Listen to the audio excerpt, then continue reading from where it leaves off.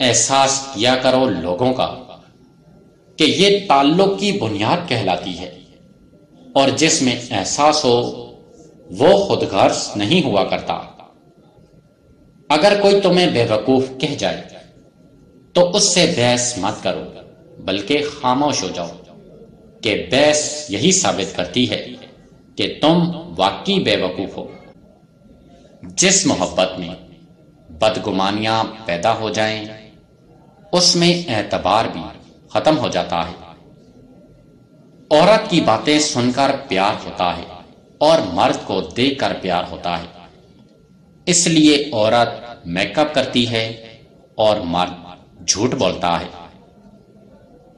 انسان کوئی بھی چہرہ بھول سکتا ہے، مگر کسی کا دیا گیا لاڈ پیار اور عزت کبھی نہیں بھول سکتا۔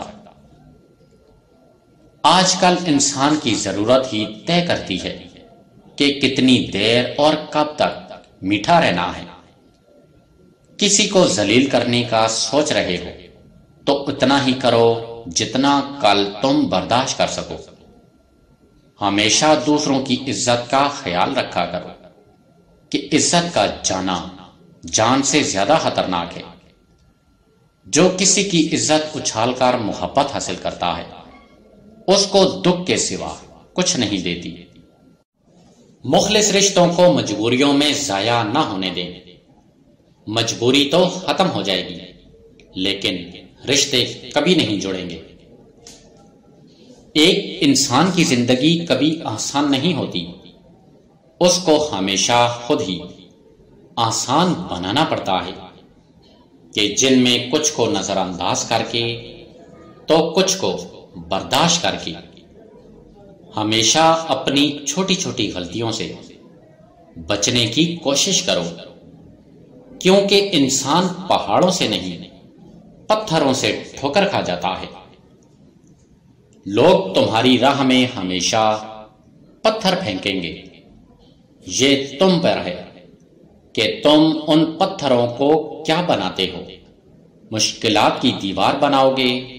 یا کامیابی کا پل۔ اتنی ٹھوکرے مارنے کا شکریہ اے زندگی۔ چلنے کا نہ صحیح، سنبھلنے کا تو ہنر آ ہی گیا۔ ایک عورت کے اندر اتنے سینس ہوتے ہیں کہ وہ نظر اور نیت دونوں کو ہی پہچان لیتی ہے۔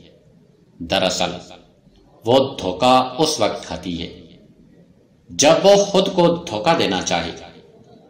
زندگی میں جب کبھی ہمارا خود سے سامنا ہوتا ہے، تو سمجھ میں آتا ہے کہ ہم نے دوسروں کی خاطر اپنا کتنا دل دکھایا ہے۔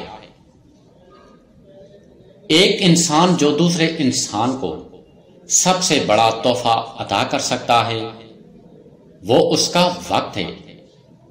اس سے قیمتی تحفہ کوئی ہو نہیں سکتا۔ کسی مضبوط پہاڑ کا بوجھ اتنا نہیں ہوتا جتنا بے قصور پہ تہمت لگانے کا ہوتا ہے۔ آنسو آنکھ سے نکل کر گال پر بہ جائے تو مطلب آپ کو تکلیف ہوئی ہے۔ لیکن آنسو آنکھ سے ہوتے ہوئے حلق میں اٹک جائیں تو یقیناً آپ اندر سے کہیں کچھ ٹوٹا ہے۔ آپ کے بدترین دشمن اکثر وہ لوگ ثابت ہوتے ہیں جن سے آپ کی بہترین جان پہچان ہوتی ہے۔ بچپن میں جہاں چاہے ہنس لیتے تھے، جہاں چاہے رو لیتے تھے۔ اب ہنسنے کے لیے تمیز چاہیے اور رونے کے لیے تنہائی۔ آنسو تب نہیں آتے جب آپ کسی کو کھو دیتے ہو۔ آنسو تب آتے ہیں جب آپ خود کو کھو کر بھی کسی کو پا نہیں سکتے۔ کہتے ہیں، وقت سے پہلے اور قسمت کے بنا کسی کو کچھ نہیں ملتا۔ افسوس، ان کے پاس وقت نہیں اور ہمارے پاس قسمت نہیں۔ جو انسان دوسروں کو شک کی نگاہ سے دیکھتا ہے، حقیقت میں وہ اپنے کردار کی برائیاں دوسروں میں تلاش کرتا ہے۔ نیک لوگوں کی صحبت سے ہمیشہ بھلائی ملتی ہے۔ کیونکہ ہوا جب بھی پھولوں سے گزرتی ہے، تو وہ بھی خوشبودار ہو جاتی ہے۔ شیشہ اور رشتہ دونوں نازک ہوتے ہیں، مگر ان میں فرق ضرور ہوتا ہے۔ شیشہ غلطی سے ٹوٹتا ہے اور رشتہ غلط فہمی سے انسان کو دو چیزیں ہمیشہ زیادہ نظر آتی ہیں، اپنی سمجھ اور دوسرے کی غلطی۔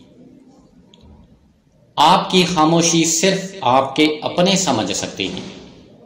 صرف اللہ پاک ہی ہے، جس سے جتنی چھپ کر محبت مانگی جائے، اتنی ہی بلندی نصیب ہوتی ہے۔ خود کو اتنا قابل بناؤ۔ کہ دنیا تمہارے پیچھے چلے۔ تم دنیا کے پیچھے مت چلو۔ اور زندگی میں کبھی کسی کے ساتھ برا کرنے کا مت سوچو۔